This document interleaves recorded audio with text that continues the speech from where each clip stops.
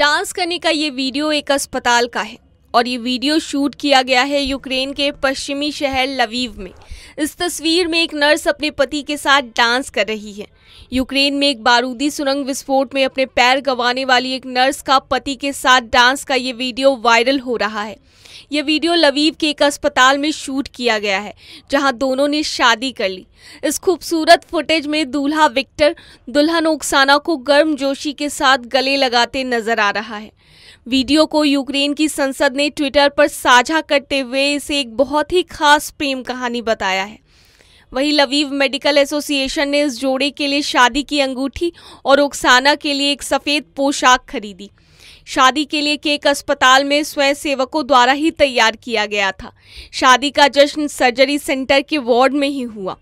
दरअसल 23 वर्षीय ओक्साना 27 मार्च को विक्टर के साथ लुहांस क्षेत्र में अपने गृह नगर लिसिचांस्क में चल रही थी, जब उसने एक बारूदी सुरंग पर कदम रखा। बारूदी सुरंग में विस्फोट होने पर ओक्साना ने अपने दोनों पैर और बाएँ हाथ की चार उंगलियाँ खो दी जिसके बाद ओक्साना की चार सर्जरी हुई। उसके घाव ठीक होने के बाद डॉक्टरों ने उसके अंगों को प्रोस्थेटिक्स के लिए तैयार करना शुरू कर दिया।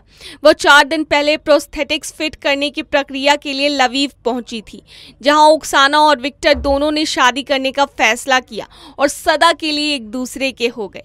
देसवा न्यूज़ के लिए ब्यूरो रिपोर्ट।